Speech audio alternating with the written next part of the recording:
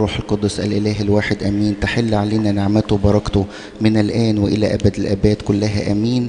النهاردة الكنيسة بتحتفل بتذكار نياحة القديس العظيم البابا زخارياس البابا الأربعة وستين ومعروف إن بيبقى عندنا أحد الآباء البطاركة الشرقيين.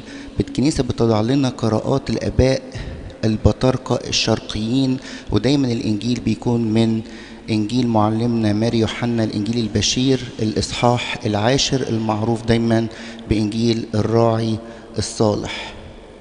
البولس النهاردة ماشي في نفس خط القراءات الخاصة بالآباء البطاركة وبيتكلم عن الضعف الجسدي اللي موجود عندنا نحن البشر والخدام عندهم ضعف بشري ولكن الله لا يتركهم.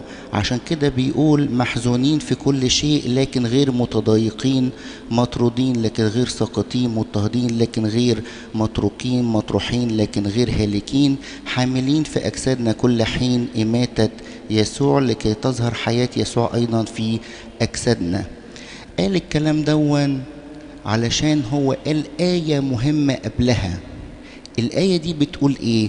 بتقول إن لأن الله الذي قال أن يشرق نور من ظلمة. هو الذي أشرق في قلوبنا لإنارة معرفة مجد الله في وجه يسوع المسيح. الله الذي قال إن هو هيشرق نور من الظلمة دي تفكرنا بسفر التكوين أول إصحاح لما ربنا قال ليكن نور فكان نور. هنا معلمنا بولس الرسول عايز يقول إن في بداية الخليقة كان هناك ظلمة. والله خلق من الظلمة نور. إحنا كمان بالمثل في ظلمة في قلبنا ولكن ربنا جه وأشرق علينا فين؟ في قلوبنا.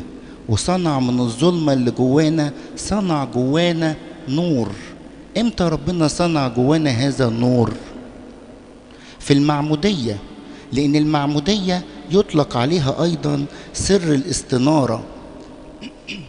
فالله الذي خلق النور في العالم في اليوم الأول كمان جه وخلق جوانا نور.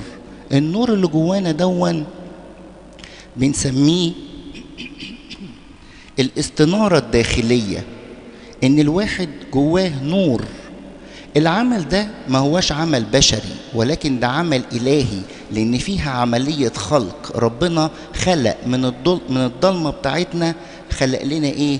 نور جوانا. علشان كده ربنا أعطانا هذا النور وهذه الاستنارة علشان نتمتع بيه. أي إنسان خاطي بيكون في قلبه ظلمة بسبب الخطية. ولكن لما بيرجع لربنا ويتوب ربنا بينور قلبه مرة تانية ويعطيه الاستنارة الداخلية. إذا الاستنارة الداخلية دي هي عملية خلق. علشان كده بيطلقوا على المعمودية إن هي الخليقة الجديدة. ليه الله؟ الله لم يعطينا هذه الاستنارة عشان بس إن إحنا ننور ونستنير بيها بس لأ. مش بس عشان إحنا ننور ولكن كمان علشان نعكس نور المسيح اللي جوانا. ونكون إحنا عبارة عن إنجيل مفتوح للعالم. ليه إنجيل مفتوح للعالم؟ لأن بولس الرسول في رسالته دي الرسالة التانية إلى أهل كورنثوس الإصحاح الرابع قال قبليها كان في آية بتقول ولكن إن كان إنجيلنا مكتوما فإنما هو مكتوم في الهالكين الذين فيهم إله هذا الدهر اللي هو الشيطان قد أعمى أذهان غير المؤمنين لئلا تضيء لهم إنارة إنجيل مجد المسيح الذي هو صورة الله. في ناس هالكين مفهومش الإنجيل. الإنجيل مكتوم. مفهومش الإنجيل مفهومش سر النور ما عندهمش استنارة داخلية. علشان كده هم هالكين. الله أعطى لأولاده النور. عشان كده نيجي إحنا في تسبيحة نص الليل نقول إيه؟ قوموا يا أبناء النور. كل واحد فينا هنا في الكنيسة اتعمد فهو يعتبر ابن من أولاد النور. ليه ربنا إدانا النور دون جوانا؟ النور دون ربنا أعطاه لنا لسببين السبب الأولاني علشان يكون لنا البصيرة الداخلية. المستنيرة. يكون لنا استنارة داخلية عشان ندرك بيها الملكوت. مفيش حد يقدر يقول إن السيد المسيح هو رب إلا بالروح القدس. فاحنا جوانا روح الله القدوس اللي بيها نقدر ندرك ملكوت الله. وهنقدر نفهم وهنقدر نعاين أسرار الحب الإلهي. ونقدر نشوف ربنا بوضوح. ونقدر نعرف مشيئة ربنا. ونقدر نصلي لربنا ونقول له لتكن مشيئتك كما في السماء كذلك على الأرض. نقدر نحب ربنا. نقدر نفرح بيه. ونفرح كمان بحبه لينا. اذا السبب الاولاني ربنا أعطانا النور دون إن إحنا يكون عندنا إحنا لينا إحنا البصيرة الداخلية. وإن إحنا نبص للخلاص اللي صنعه ربنا يسوع المسيح وما نهملش هذا الخلاص المقدار عظيم جدا على عود الصليب. طب إيه هو السبب التاني اللي ربنا خلى جوانا هذا النور؟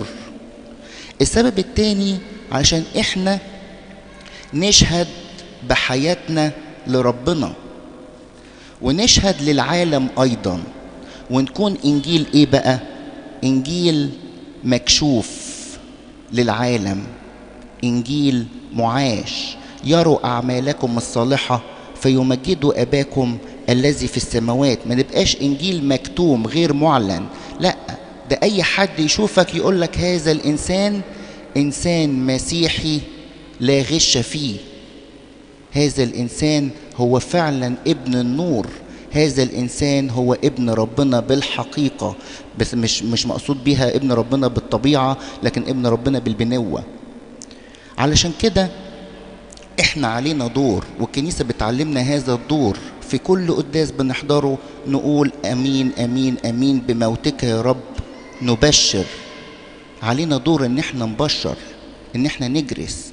عشان كده قراءات النهارده هي خاصة بالآباء البطاركه وكرازتهم وبجهودهم وبتعبهم في الكرازة وفي نمو الكرازة وفي التبشير باسم السيد المسيح.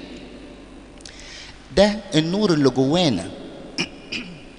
ويكمل ويقول هذا النور أشرق في قلوبنا لإنارة معرفة مجد الله. يعني إيه لإنارة معرفة مجد الله. مين فينا يقدر يعرف ويعاين مجد الله غير لما ربنا هو اللي يعلن لينا؟ عشان كده عيد الغطاس اسمه عيد الظهور الإلهي. الله هو اللي أعلم مجده لينا. اللي يقول لك إن الله عرفوه بالعقل دي كلمة خاطئة جدا. إزاي العقل المحدود يعرف الله غير المحدود؟ بالعكس ده ربنا هو اللي أعلن ذاته لينا. هو اللي عرفنا ذاته. عشان كده كلنا عرفنا ربنا بالمعمودية وعلينا إن إحنا نكرز للآخرين بهذه المعرفة. ما ناخدش معرفة الله وتكون لينا إحنا بس بالعكس إحنا لازم نبشر لازم نكرز لازم نكون إحنا إنجيل مفتوح. كل واحد فينا موجود في مكانه يقدر يكرز. في البيت تقدر تجرس وكل واحد يشوف فيك صورة المسيح.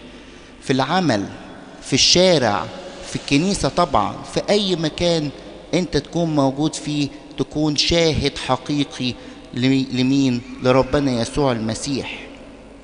لإنارة معرفة مجد الله في وجه يسوع المسيح. بولس الرسول بيقول في وجه يسوع المسيح. المجد الإلهي اللي ظهر دون ظهر بواسطة شخص ربنا يسوع المسيح فإحنا بنعرف هذا المجد الإلهي عن طريق معرفتنا الشخصية بالمسيح. أنت مسيحي ومكتوب في البطاقه مسيحي لكن هل لينا المعرفة الحقيقية بشخص ربنا يسوع المسيح؟ إحنا ليه بنخدم؟ لأن إحنا دقنا طعم محبة ربنا يسوع المسيح. فبنقدم المسيح للناس ونقول لهم إيه؟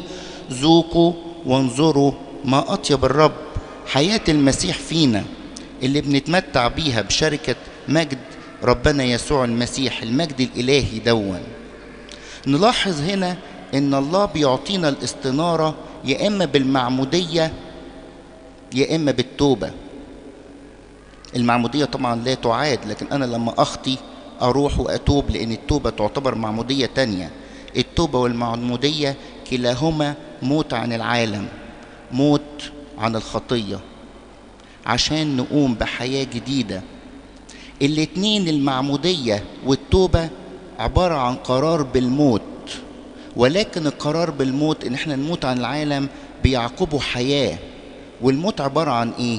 عن ضلمة ظلمة وعدم إدراك لينا ومش عارفين عدم إدراك للحياة. والحياة هي عبارة عن استنارة ومجد. علشان كده نلاقي إن بولس الرسول بيكمل بيقول لك النور اللي جواك دون عبارة عن كنز مخفي جواك أنت مش عارفه. ولكن لنا هذا الكنز في أوان خزفية ليكون فضل القوة لله لا منا. كل واحد فينا اتعمد جواه كنز. وواضح إن الجنس اللي جوانا ده مستخبي فين؟ في جسدنا.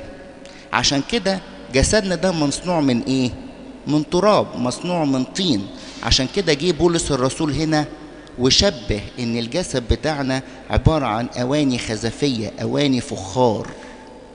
أول لما الأواني الفخار دي ما تتكسر وتموت النور ده هيبان. النور ده هيبان إمتى؟ لما نيجي نموت نلاقي إن النور دون يبان. كل واحد فينا أنتم نور العالم. كل واحد فينا جواه شمعة جواه نور جواه نعمة الروح القدس. إذا الكنز اللي جوانا دون هو النور الإلهي اللي بيسكن فيا وفيك.